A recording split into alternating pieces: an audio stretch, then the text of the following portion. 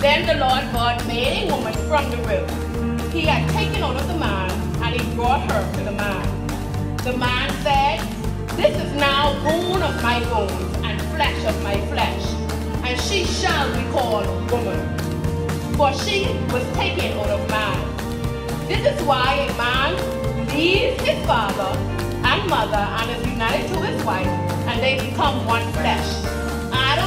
Wife were both naked, and they left no shame. Parents, reason oh God, Holy